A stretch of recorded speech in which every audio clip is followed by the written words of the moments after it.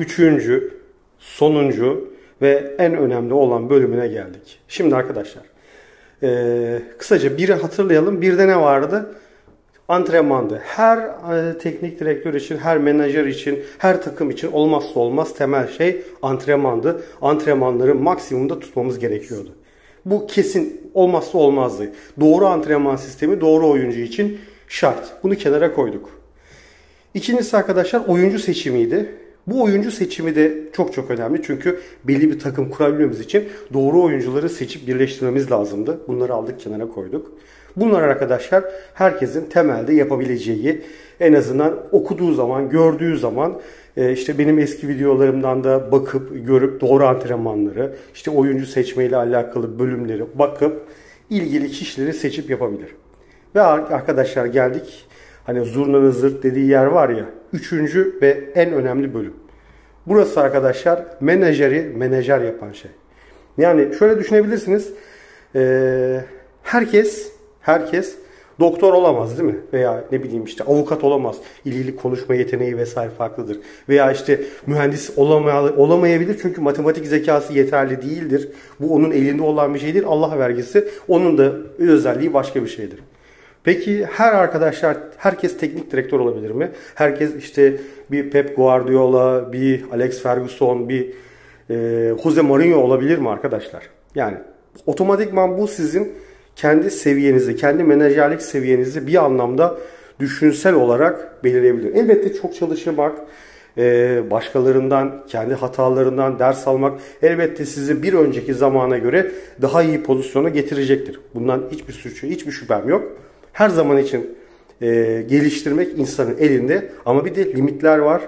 Peki arkadaşlar bu limitler ne? Daha doğrusu ne yapmalıyız?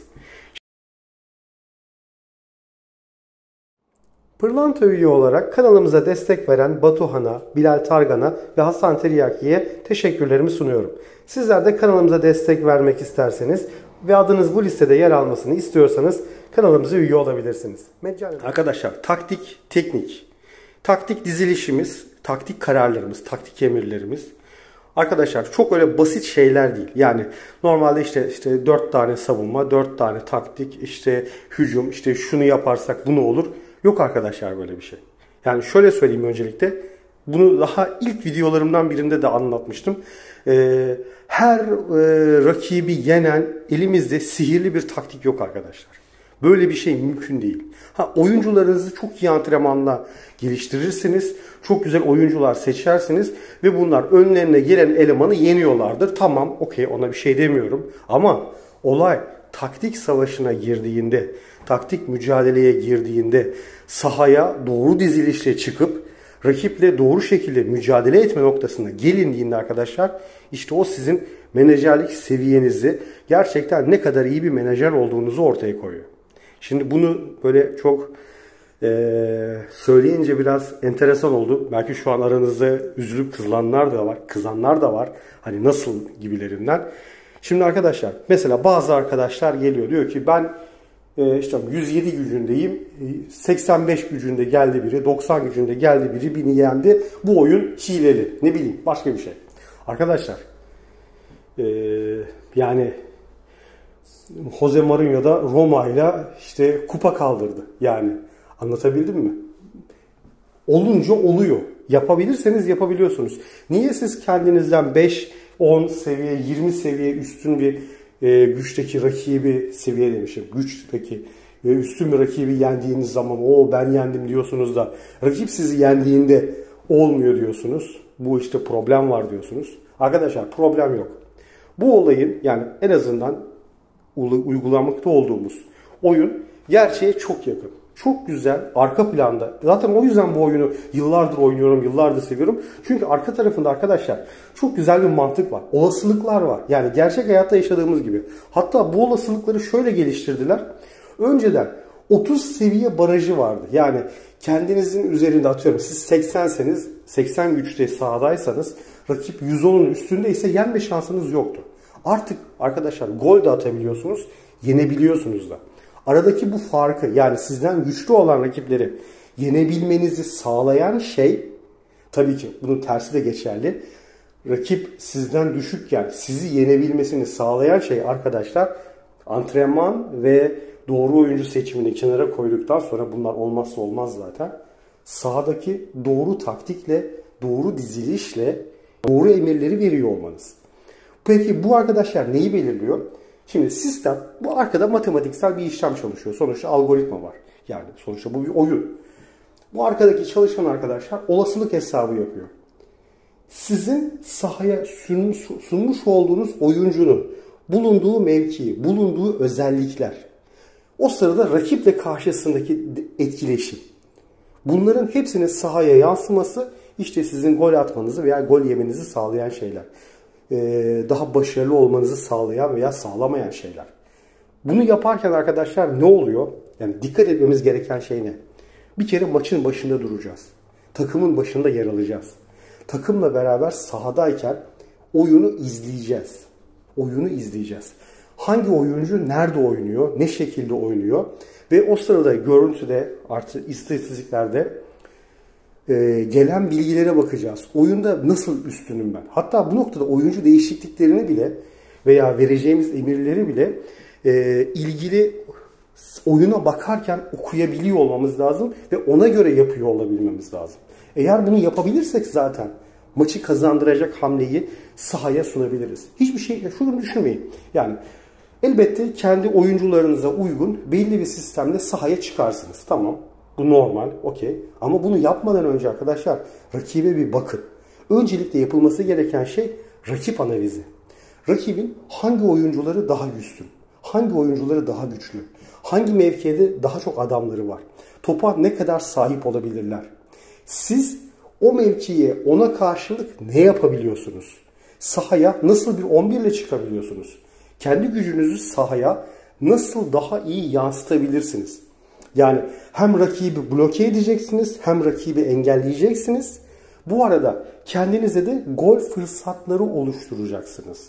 İşte bunu yapabilmeniz için oyunu okuyabilmeniz lazım. Ve oyun içerisinde taktik dizilişleri veya e, o doğru oyuncu seçimleriyle kimi zaman değiştirebiliyor olmanız lazım.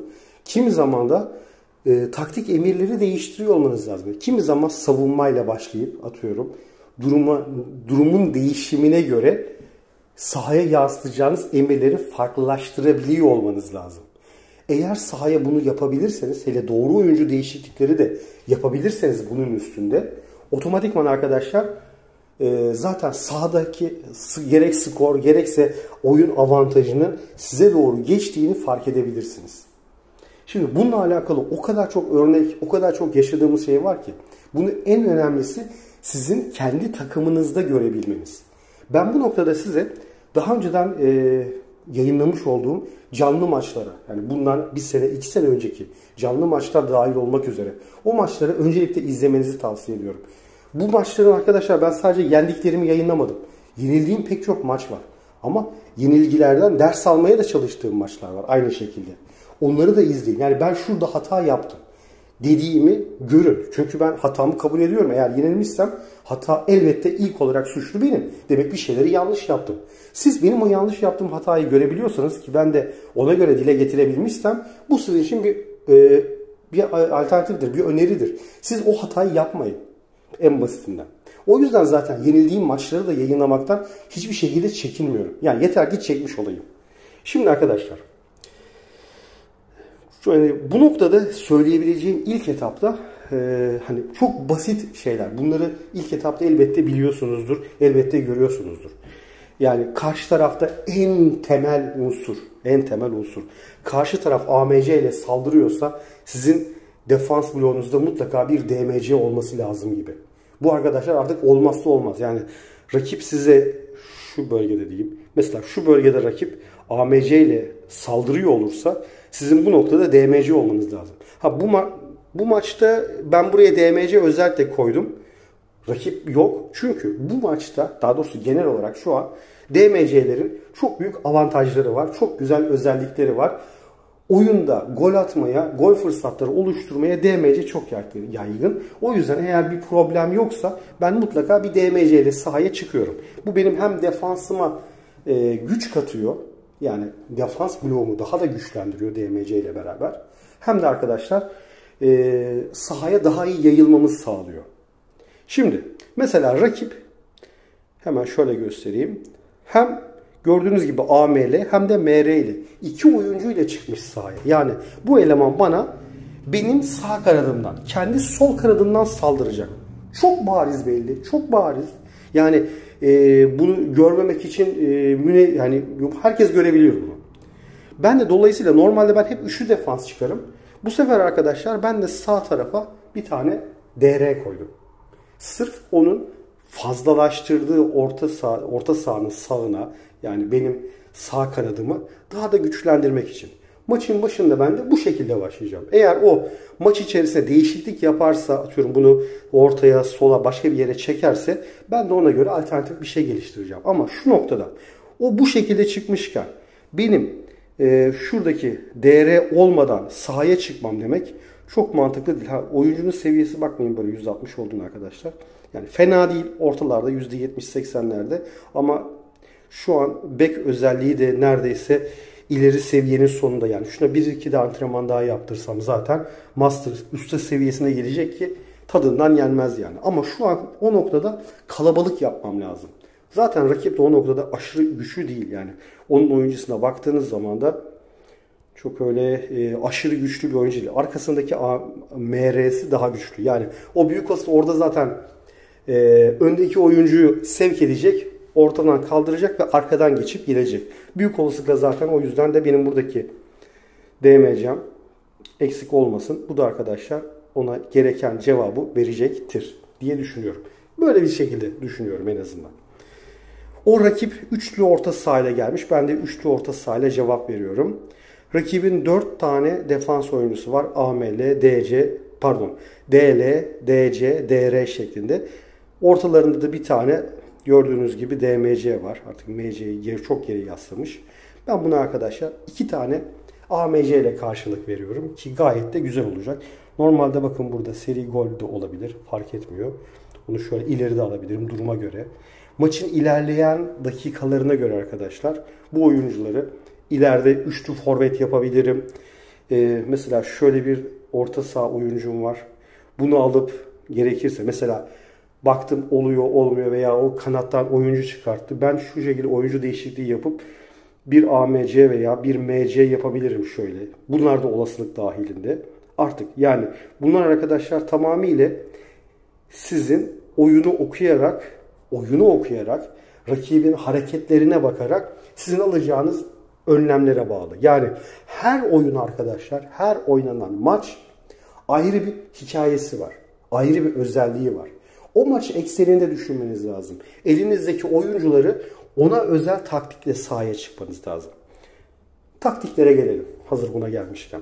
Şimdi arkadaşlar temelde 5 temel savunma pardon atak taktiğimiz var.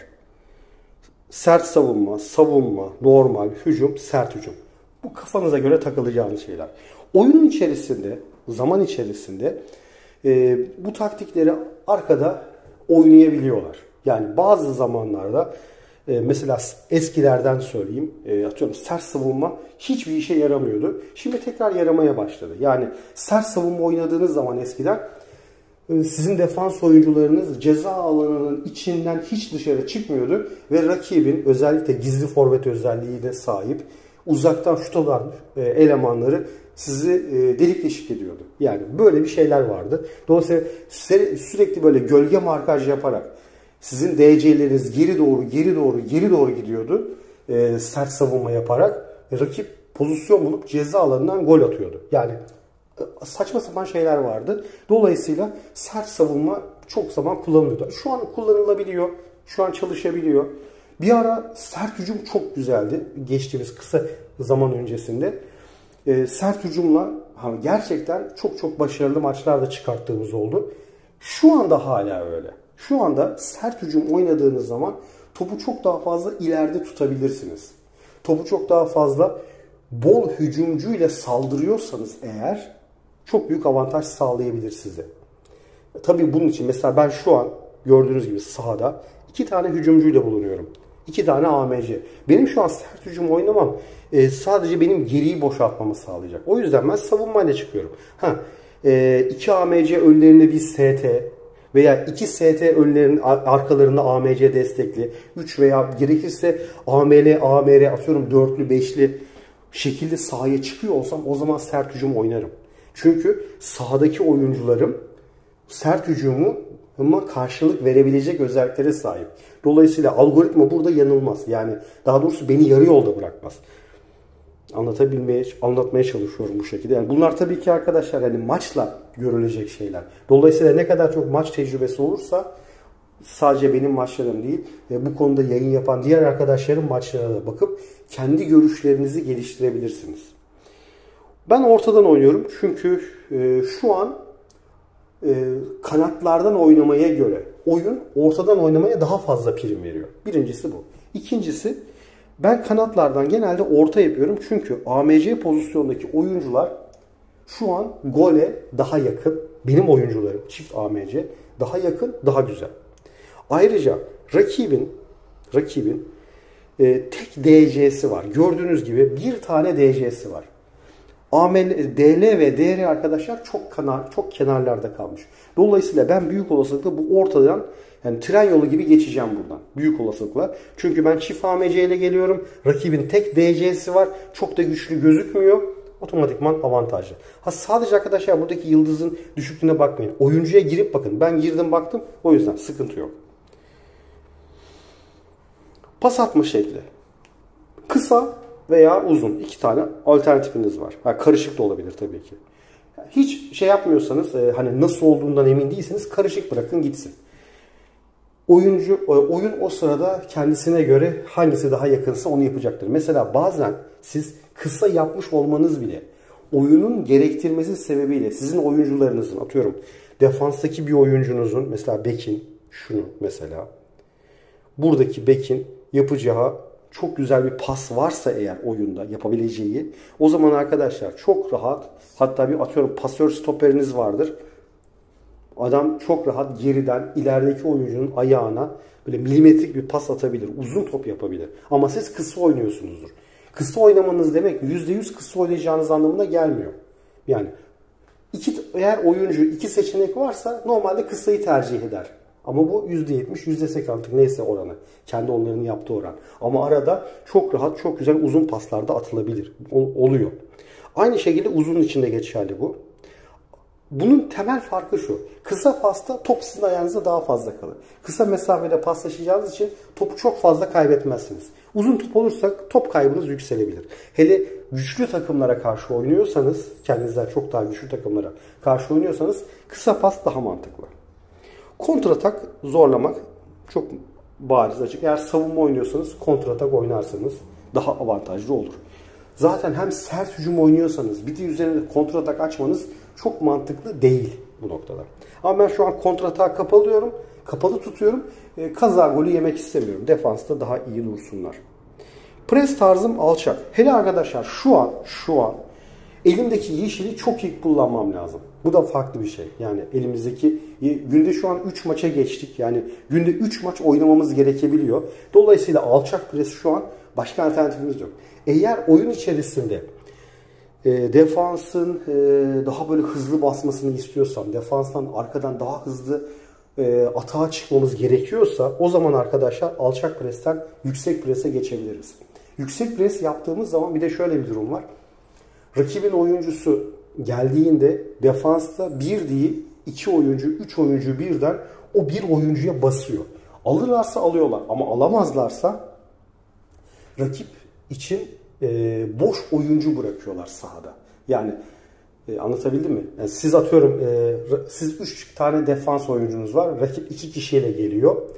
E, soldaki adam diyelim ki o tam topla gelirken sizin iki oyuncunuz birden o oyuncuya basıyor. O sırada üçüncü oyuncunun, üçüncü defansının sizin ortada kaldı ve rakibin o tek e, diğer hücumcusunu tutamayabiliyor. Onu kaçırabiliyor. Böyle bir sıkıntı var. Top çalma tarzı normal. Standart normalde oynamanız e, iyi. Eğer bunu zor yaparsanız sizin oyuncularınız yere daha sağlam basıyor. Daha güçlü basıyor. Ama bu daha güçlü basmayla beraber faul olasılıkları, dolayısıyla rakibin serbest vuruş kullanma olasılıkları çok daha fazla artıyor. Eğer bendeki gibi kaleciniz sağlamsa, e, özellikle duran top durdurucu özelliği vesaire varsa o zaman bunu zor da tutabilirsiniz. Ayrı bir şey. Ama bu hem sakatlık sakatlığa sebebiyet verecektir. Tek sizin için değil, rakip için de olabilir bu. Rakibin oyuncusunu da sakatlarsanız, eğer böyle bir olasılığınız varsa tabii bu bir anlamda güzel bir durum artık sizin için. Çünkü rakip oyuncu eksilmiş olacak. Ama diğer taraftan rakibe çok iyi e, serbest vuruş hakkı da vereceğinizi unutmayın ona göre. Markaj tarzı arkadaşlar bu tamamıyla oyun içerisindeki duruma bağlı. Eğer siz dediğim gibi yeşil pozisyonunda yeşil eksikliği çekiyorsanız bölgesel tutarsanız oyuncularınız çok fazla rakip hücumcularını takip etmeyecekleri için kendi alanlarında kalırlar. Daha çok bölgelerini tutarlar. Dolayısıyla çok fazla yorulmazlar. Ama gerçekten defans istiyorsanız arkadaşlar adam adama çekeceksiniz. Adam adama yapışacak, forveti takip edecek, her alanda basacak. O zaman çok daha güzel. Ama dediğim gibi bu e, oyuncunun otomatikman enerjisini düşürüyor. Tabii mesela rakip siz bölgeselle başladınız. Adam çıtır çıtır aralarından geçip gol atıyor. O zaman arkadaşlar mecbur adam adama geçeceksiniz gibi. Offside taktiği uygulayıp uygulamamak size kalmış. Uyguladığınız zaman eğer açık tutarsanız bunu e, rakip şöyle diyeyim mesela rakibin e, AMC'leri var artı STS'i var. Çok güzel paslaşarak geliyorlar. E, arkadan iyi toplarla çıkıyorlar. O zaman arkadaşlar offside taktiğini kapatın. Ama rakip tek forvet geliyor. Adam ileriye böyle koymuşlar. Veya iki forvet artık neyse ama arada böyle bir boşluk var. Yani uzun top attıkları takdirde yani rakibin uzun top atacağına inanıyorsunuz. O zaman arkadaşlar offside taktiğini açık tutarsınız. Otomatikman bu size rakibi çok daha rahat offside'a düşürmesine sebebiyet verir ve bu şekilde pek çok topu hiç dokunmadan kazanabilirsiniz. Evet bunlar temelde anlatabileceğim şeyler. Ama bunun haricinde anlatılabilecek elbette maç başına, maç bazlı olarak pek çok şey var. Şu an şöyle şunları da yapayım hazır. Birazdan maçımız var. Şunu kaçırmadan da bu aralar çok enerji ihtiyacımız var. Dediğimiz gibi günde 3 maç açıkçası arkadaşlar zor. Hele bir de şu an e, federasyon maçlarımız var. Yapabileceğimiz bir avantaj bu noktada maç saatlerini ileri almak. Yani aralarına mesela ben bu maçı oynayacağım 5-6 saat sonra ikinci maçı oynayacağım. Dolayısıyla arada yani bir %12'lik e, yaklaşık %6-6 iki kere e, bir günce şey e, refresh yaşayacağım inşallah. Öyle. Neyse. Anlatacaklarım arkadaşlar genel olarak bu kadar. Kendinize iyi bakın diyorum. Medyane'de kalın. Bir sonraki videoda görüşmek üzere.